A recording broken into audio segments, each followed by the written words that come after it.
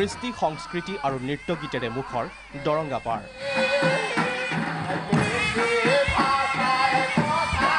তামোলপুৰৰ দৰঙাপাৰত উদযাপন বিহুৱা উৎসৱ।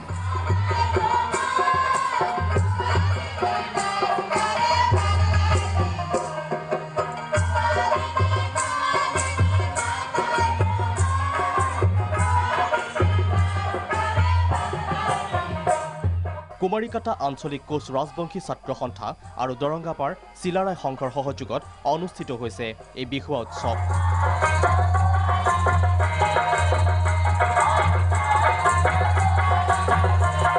কোচ ৰাজবংশী জনগোষ্ঠীৰ এই উৎসৱত গোৱালিনী নৃত্য মদন কামদেৱ নৃত্য কুশা নৃত্যৰে মুখৰিত হৈ উঠে উৎসৱস্থলী।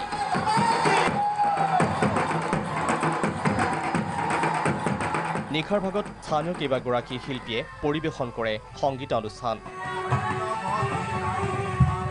কুছাৰ নৃত্য গোৱালিনী নৃত্য কামদেৱ নৃত্য সোণাৰাই নৃত্য গোৰখনাথ মেচেনি বিভিন্ন এনেকুৱা নৃত্যসমূহ আমি এই জনগোষ্ঠীটোৰ যে সম্পূৰ্ণখিনি মানে ভঁৰাল মজুত আছে সেইখিনি কৃষ্টিখিনি প্ৰদৰ্শন কৰাৰ কাৰণে আজি বিশেষভাৱে এই বিশ্ব উৎসৱৰ আমি আয়োজন কৰিছোঁ। হাফলঙতো একেই পৰিৱেশ। শেহতীয়াকৈ দুদিনীয়াকৈ চহৰখনত উদযাপন কৰা হৈছে বহাগী বিদায় সন্মিলন।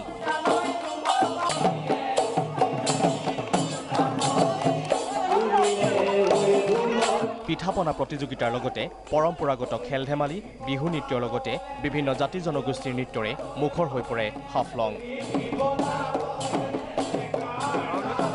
জোনাই চিমেণ্ট চাপৰিত বহাগী বিদায়। সাংস্কৃতিক শোভাযাত্ৰাত অংশগ্ৰহণ অভিনেত্ৰী তন্ভী শৰ্মাৰ।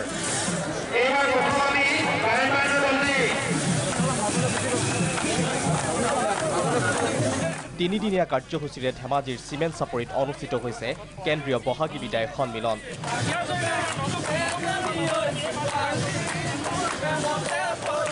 পঁচিছখন গাঁৱৰ উদ্যোগত অনুষ্ঠিত বহাগী বিদায় সন্মিলনত অংশগ্ৰহণ কৰে ভিন্ন জাতি জনগোষ্ঠীৰ লোকে।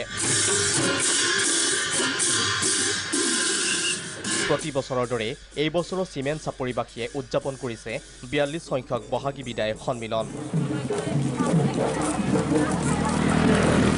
বিভিন্ন প্ৰতিযোগিতাৰ লগতে নিশাৰ ভাগলৈ অনুষ্ঠিত হ'ব আমন্ত্ৰিত শিল্পীৰ সংগীতানুষ্ঠান।